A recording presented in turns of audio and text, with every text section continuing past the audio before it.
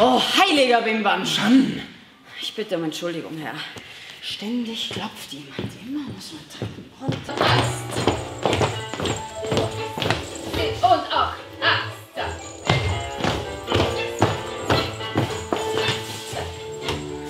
Es tut mir weh, dass du mich nie geliebt hast, aber du hattest deine Chance und, und jetzt, jetzt fängt mein Leben an.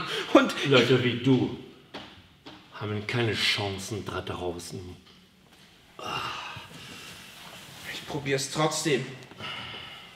Außerdem bin ich jetzt nicht mehr allein. Wir sind alle alleine.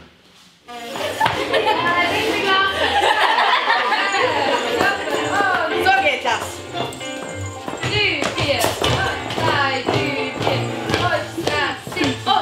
Wie könnt ihr so etwas sagen? Ihr habt mich nie angefasst. Nie angeschaut. Ha? Nicht mal jetzt kennt ihr es richtig. Ihr habt Angst. Nichts als Angst. Ihr hättet ein Leben mit uns haben können. Mutter und mir. Und stattdessen habt ihr euch euer eigenes, einsames Gefängnis gebaut. Eure Gesichter? Voll Inbrunst. Und voll Liebesfeuer. In dir steckt wohl das Liebesungeheuer. Du hast völlig recht.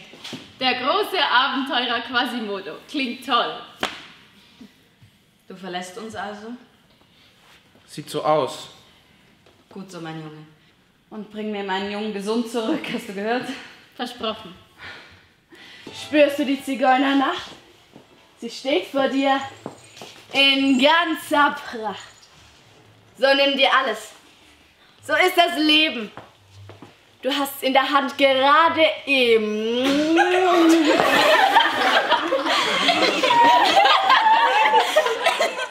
Allein?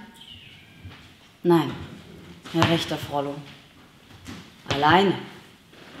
Nun, alleine seid nur ihr.